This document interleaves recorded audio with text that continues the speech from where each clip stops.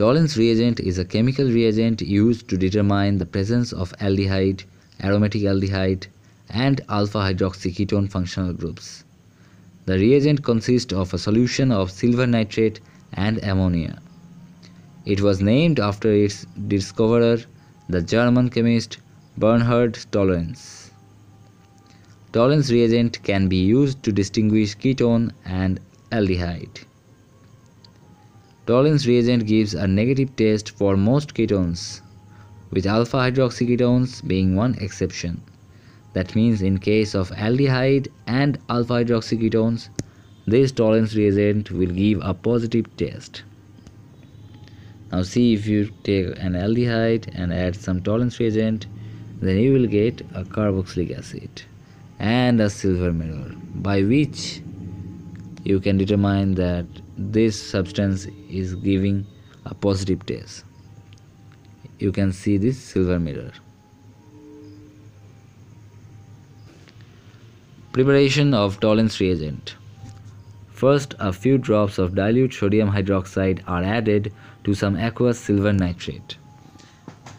The OH that means the hydroxyl ions convert the silver aqua complex from into silver oxide Ag2O which precipitate from the solution as a brown solid. That means you have this silver nitrate and you are adding some sodium hydroxide. Then you will get this silver oxide which will just um, precipitate from the solution. In the next step, sufficient aqueous ammonia is added to dissolve the brown silver oxide. The resulting solution contains the silver amine complex AgNH3 2 in the mixture, which is the main component of Tollens reagent. Sodium hydroxide is reformed. So at first stage, this one is occurring this reaction and in the next stage when you are adding much more ammonia, ammonia is reacting with this silver oxide and there is a silver amine complex. This complex is being formed.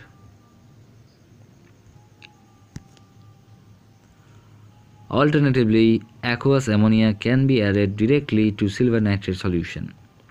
At first, ammonia will induce formation of solid silver oxide, but with additional ammonia, this solid precipitate dissolves to give a clear solution of diamine silver complex. Filtering the reagent before use helps to prevent false positive results. In a positive test, the diamine silver complex oxidizes the aldehyde to a carboxylate ion and in the process is reduced to elemental silver and aqueous ammonia. The elemental silver precipitates out of the solution, occasionally onto the inner surface of the reaction vessel, giving a characteristic silver mirror. And this is the oxidation process of alpha hydroxy ketones you are taking alpha hydroxy ketone the basic medium so you are getting enediol intermediate. And this is converting into aldehyde or an aldose. And then this silver amine complex is coming to this aldehyde and this carboxylic acid salt is being prepared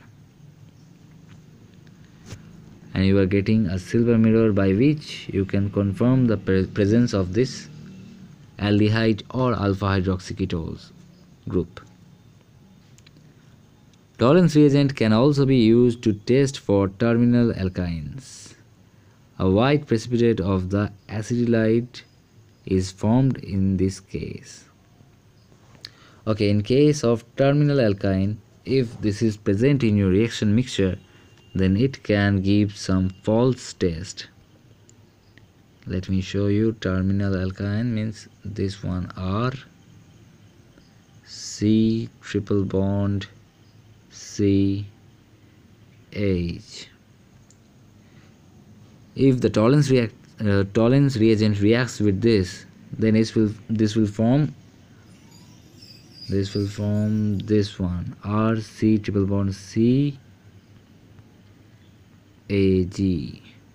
Silver acetylide and you will get in case of this you will get a false test.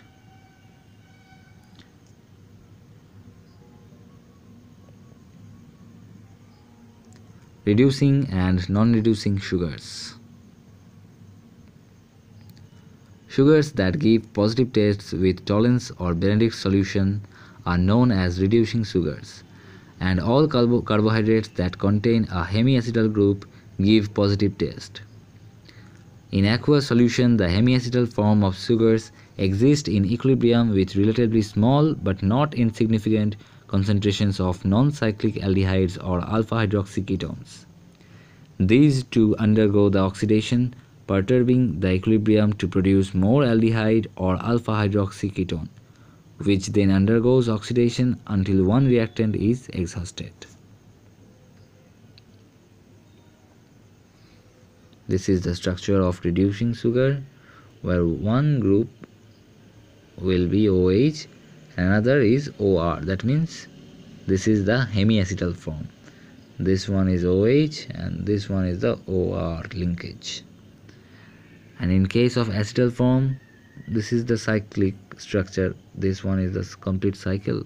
So this is the OR connectivity and this one is also OR that's why this is the acetal form which is non-reducing sugar. Carbohydrates that contain only acetal groups give negative taste with Benedict's or Tollens solution and they are called non-reducing sugars. As acetals do not exist in equilibrium with aldehydes or alpha hydroxy ketones in the basic media of the test reagents.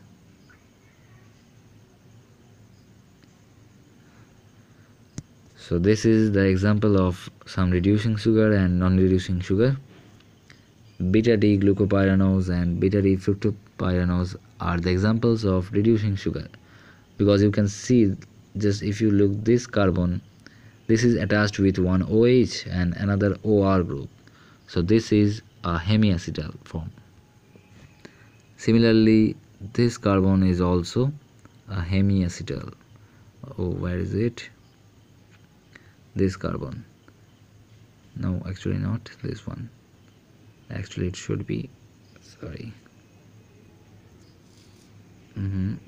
This one. This one is the hemiacetal linkage where this carbon is attached with one OH and another one OR